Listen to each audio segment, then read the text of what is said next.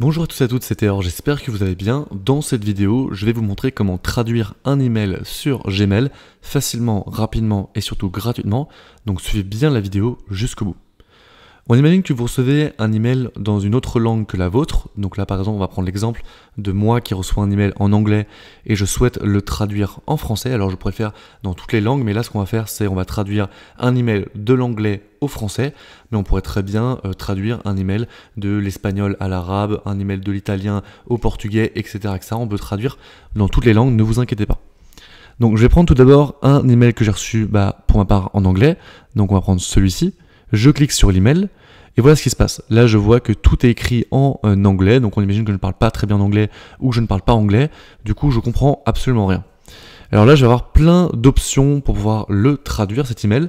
Tout d'abord, le fameux clic droit et ensuite on va cliquer sur traduire en français. Juste ici, je clique là, ça va le traduire. Je peux aussi cliquer sur traduire le message juste ici ou tout simplement en cliquant sur les trois petits points juste ici, là aussi on va pouvoir traduire euh, le message facilement et rapidement.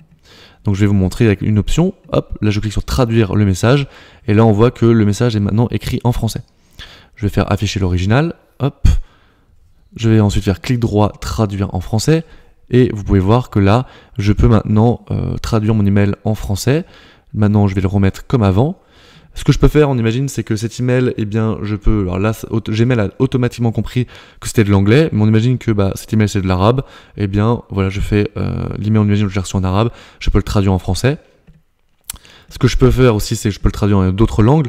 Euh, par exemple, je pourrais le traduire en espagnol, cet email. Voilà, donc avant c'était en français, maintenant c'est en espagnol. Et je vais pouvoir aussi, je sais pas, le, traduire, le traduire en, en bulgare, allez, pourquoi pas. Et voilà, mon email est maintenant traduit en bulgare.